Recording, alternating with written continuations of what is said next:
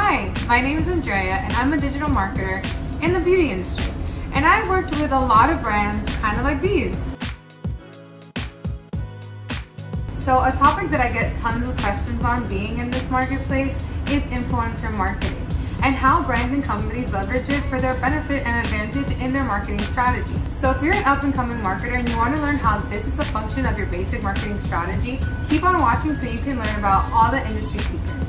So why influencer marketing? Well, there's actually a lot more benefits to working with influencers and content creators than a lot of people might think. Sure, not only are you getting mentioned by someone who has a larger reach and leveraging their customers or their audience members to become prospects of your own company and brand, but we have to look at something else that these content creators are really good at, and it's creating content, which is one of the most valuable things that brands actually look for in these partnerships. The creation of content is not an easy task, and an expensive one at that.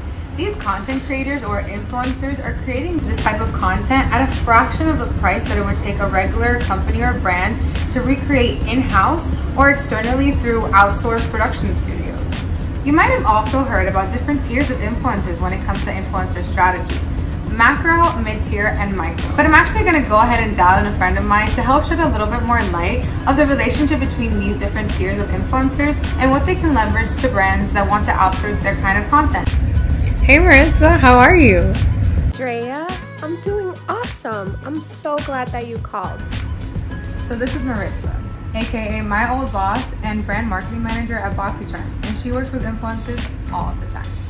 Hey, yeah, I actually wanted to know if you could share with us some influencer marketing strategies that you currently use at BoxyCharm. I would love to talk to you about influencer marketing and a little bit on how we do things at BoxyCharm. So let's take a look at the difference between macro, mid-tier, and micro influencers. I say visualize it as a pyramid with your macro influencers at the top, your mid-tier influencers in the middle, and your micro influencers making the base of your pyramid and it all depends on what your overall campaign goals are.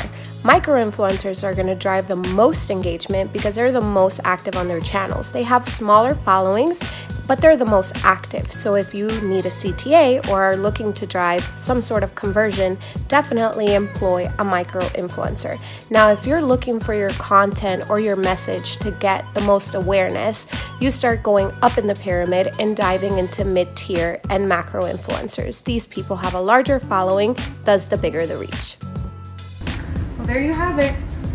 If I sparked your interest in any way and you need to know the rest of the tea on influencer marketing and how to develop a full-scale influencer marketing strategy, visit our website at mavenmkt.net for more.